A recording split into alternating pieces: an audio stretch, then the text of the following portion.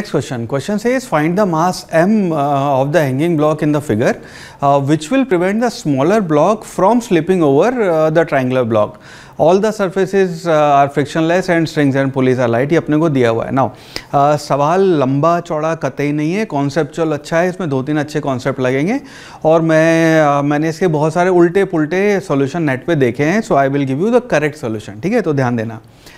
Scenario ये है कि ये आपका ब्लॉक ट्रायंगुलर ब्लॉक है, ऐसे रखा है, थीटा इसका एंगल है पहिए बना लेते हैं जस्ट टू शो कि ये फ्रिक्शनलेस सरफेस है। यहाँ पे आपने एक पुली लगाई। पुली के ऊपर आपने let's say m1 mass hang किया है और ये ऐसे कनेक्टेड है इस पर ठीक है? और यहाँ पे एक आपका, इसको m2 मास कह देते हैं और इसको m3 कह देते हैं हालाँकि मैं जानबूझ के यहाँ पे एम थ्री हालाँकि हालाँकि मैं जानबूझ के यहाँ पे M1, M2, M3 टर्मिनोलॉजी इसकी चेंज कर रहा हूँ सो दैट आपका M1, M2, M और स्मॉल m और कैपिटल M की वजह से अंडरस्टैंडिंग में गड़बड़ ना हो ठीक है? तो ये M1 है ये M2 है ये M3 है। नाउ सबसे पहले तो ये देखते हैं कि हमारी जो कंडीशन है uh, हमारी जो लेट से इसका एक्सलेशन ए है और ये अगर ब्लॉक आगे मूव कर रहा है इस इस डायरेक्शन में पूरा ये सिस्टम आगे जा रहा है तो इसके ऊपर एक सूडोफोर्स लगेगा। तो इस M3 ब्लॉक के ऊपर अगर इसका एफ़ बनाएँ हम M3 ब्लॉक इसका एफ़ बनाएँ तो इसके ऊपर एक नीचे एक काम करते हैं, मैं आपको पूरा विजुलाइज ही करवा देता हूँ, ठीक है? सो so, इसके ऊपर ये आपकी थीटा डायरेक्शन है तो यहाँ पे एक फोर्स लग रहा है that will be equal to M G sine theta जो उसको नीचे लेके जाएगा ठीक है? इसके ऊपर पीछे की डायरेक्शन में एक एम ए फोर्स लगेगा M three A M three A right अब नाउ एम थ्री ए का जो कंपोनेंट है ये एंगल आपका थीटा है ये एंगल थीटा है उसका जो ये कंपोनेंट आएगा that will be equal to M three A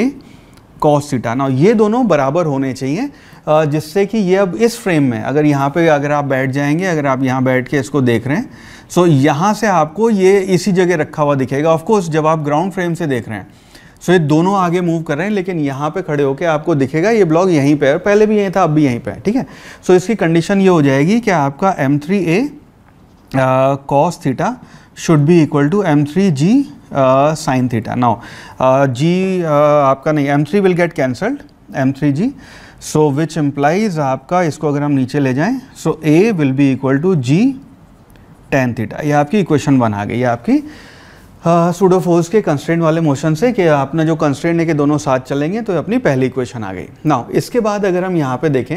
आ, इन दोनों ब्लॉक को अगर देखेंगे इनका अगर हम कंबाइंड एफ़ बनाएँगे सो so, यहाँ पे आपकी टेंशन टी है यहाँ पे आपकी टेंशन टी है तो ये आपकी टेंशन इन दोनों को आगे ए एक्सलेशन से ऐसे लेके जा रही है विच एम्प्लाइज आपकी जो अब नेक्स्ट एफ़ बना रहे हैं वो M two plus M three का एफ़ बना रहे हैं एक सिस्टम का।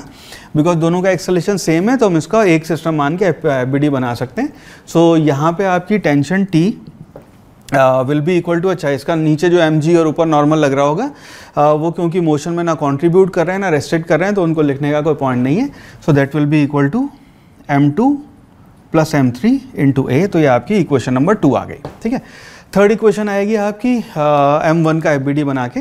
सो जब हम एम वन का यहाँ बना लेते हैं सो एम वन का जब हम एफ़ बी डी बनाएँगे सो इस पर नीचे फोर्स लग रहा है आपका एम वन जी और ऊपर आपका टेंशन और ये पूरा ब्लॉक ए एक्सलेशन से नीचे जा रहा है। सो so, इसकी इक्वेशन हो जाएगी M one G minus T will be equal to M one A one M one A right अब टेंशन की वैल्यू अगर हम यहाँ पे रख दें तो अपने को m1 की वैल्यू मिल जाएगी। सो so, ये आपकी इक्वेशन बन जाएगी m1g वन जी माइनस ये आ गया आपका m2 two plus M three A will be equal to M one A now A को हम जी टेन थीटा यहाँ पे लिख के